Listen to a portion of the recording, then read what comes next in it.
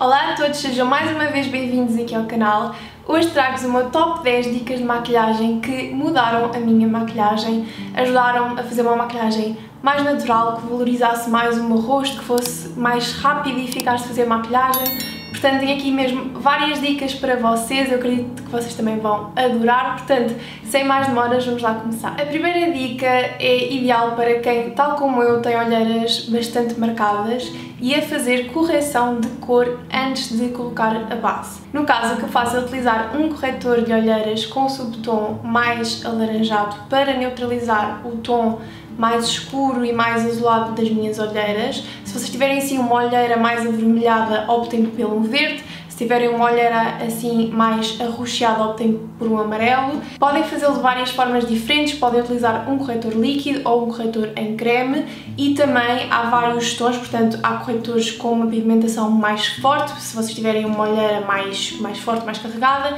ou podem optar assim por uma opção um bocadinho mais soft, que é aquilo que eu gosto mais de fazer também para o dia a dia, que é um corretor com o subtom alaranjado, mas mais suave, não é aquele corretor super garrido. Vocês vão ver logo uma diferença gigante e depois quando finalizarem toda a pele, portanto a base e também eu depois coloco também um pouco de corretor com cor normal por cima, vocês vão ver que ajuda mesmo imenso a disfarçar a olheira, aliás, eu utilizei todos os truques que eu vou partilhar com vocês hoje, trago aqui na minha maquilhagem, utilizei-os a todos e como podem ver realmente não se nota muito as olheiras, portanto é um truque que resulta e principalmente naqueles dias em que realmente estou com as olheiras muito, muito marcadas, utilizo sempre este truque. O próximo truque não só vai ajudar a vossa pele a ficar impecável, como também vai ajudar-vos a poupar dinheiro, que é não colocar a base diretamente no pincel.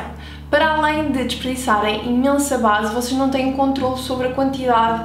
colocam, porque à medida que vocês vão espalhando, vão diminuindo a concentração da base. Ou seja, se vocês colocarem diretamente a base no pincel, a primeira pincelada que vocês vão dar vai ter muito mais base, muito mais concentração e cobertura do que as últimas e portanto não vai ficar um efeito uniforme. Aquilo que eu costumo fazer é aplico um pouco da base um, na, na mão e vou colocando várias pintinhas pelo rosto para que eu consiga obter uma cobertura uniforme e todas as zonas ficarem com uh,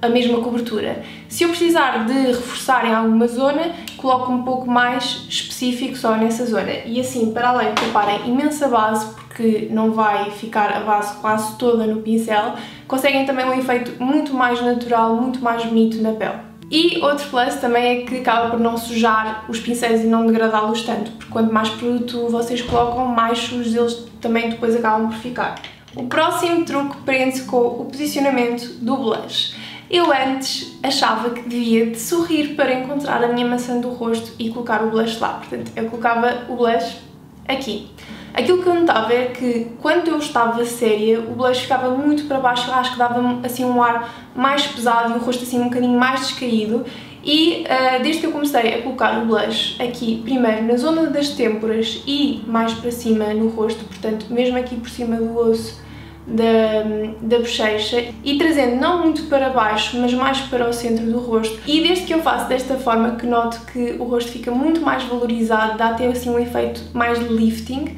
E outro truque também dentro do blush que eu gosto muito de utilizar é colocar aqui um pouquinho na cana do nariz e trazer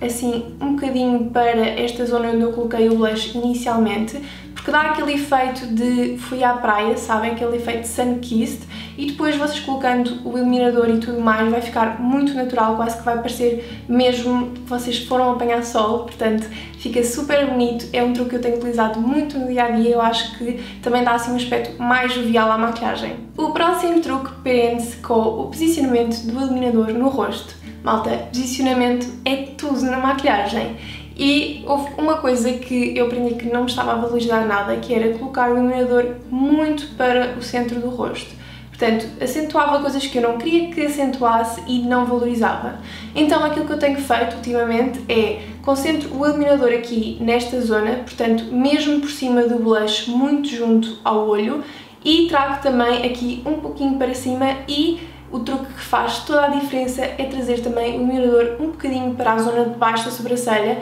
porque vai criar aquele efeito de quando vocês uh, mexem o rosto, especialmente se estiverem ao sol, vai ficar assim um efeito de pele super saudável, super viçosa, fica mesmo lindo e principalmente uh, se vocês já está estiverem ao sol vai-se notar muito, fica muito bonito. Para além desta zona eu gosto de colocar também um bocadinho na cana do nariz para dar aquele efeito de nariz mais definido e também gosto de colocar aqui um pouquinho por cima da sobrancelha nesta zona porque lá está, quando o rosto se move dá aquele efeito de pele viçosa luminosa, fica super giro. O próximo truque é para quem tal como eu tem assim umas sobrancelhas um bocadinho rebeldes e despenteadas e que gosta de um efeito mais natural. Aquilo que eu faço é, em vez de pentear as sobrancelhas para cima, como está muito na moda e como eu vejo muito uh, pelas redes sociais, eu gosto de pentear a sobrancelha para baixo e preencher a partir daí. Porquê? Porque assim eu consigo ver onde é que está realmente o crescimento, a raiz da minha sobrancelha e seguir o crescimento natural da minha sobrancelha.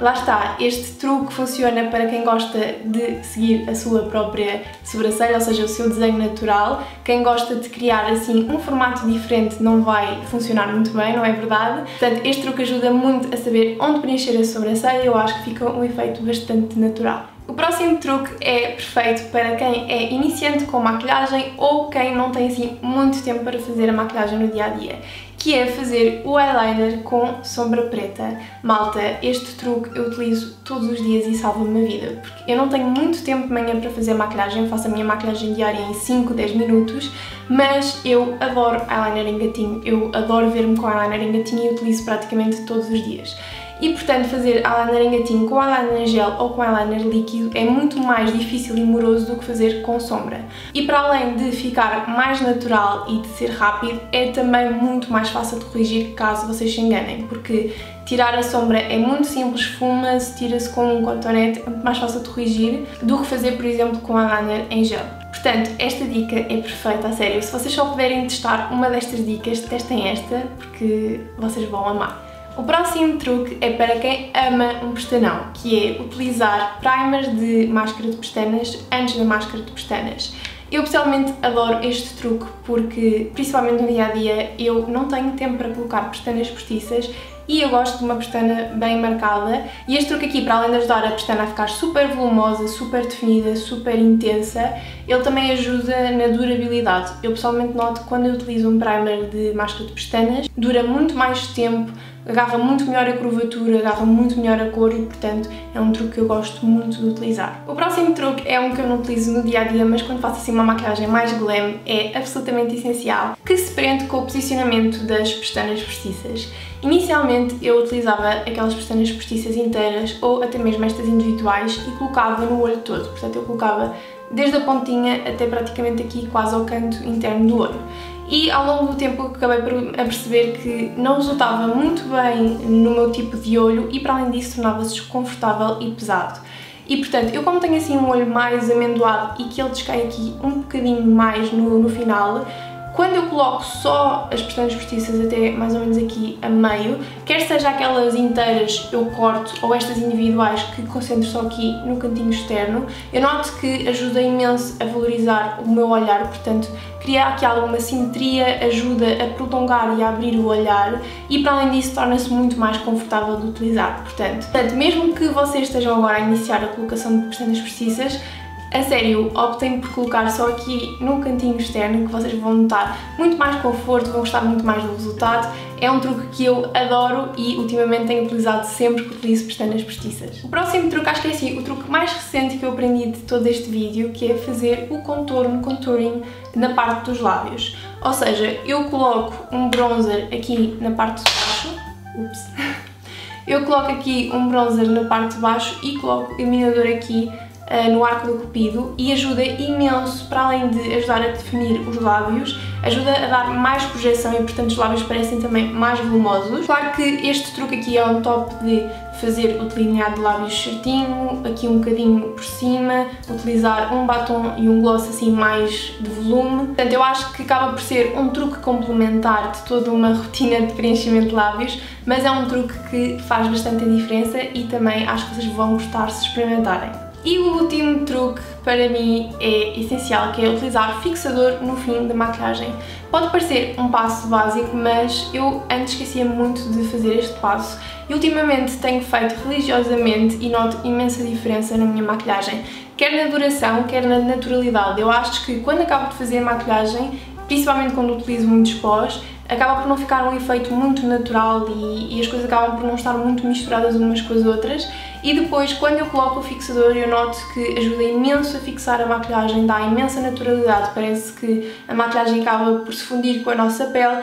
e uh, os próprios produtos, por exemplo o bronzer com o blush com o iluminador acabam por se fundir muito melhor, portanto acho que realmente ajuda imenso no acabamento mais natural, na durabilidade e é um passo que, a sério, não passem, utilizem fixador. E este foi o meu top 10 dicas de maquilhagem, digam-me lá em baixo qual é que gostaram mais, se já utilizam alguma, se ficaram com curiosidade e vão testar alguma destas dicas, portanto eu quero saber tudo. E já sabem, se gostaram do vídeo deixem gosto, deixem lá em baixo o vosso comentário, subscrevam ao canal e ativem as notificações para ficarem a par de todas as novidades e nós vemos no próximo vídeo. Um grande beijinho, tchau!